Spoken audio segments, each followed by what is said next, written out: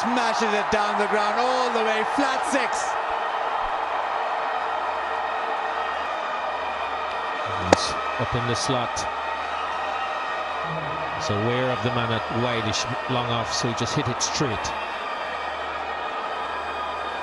Flat and hard.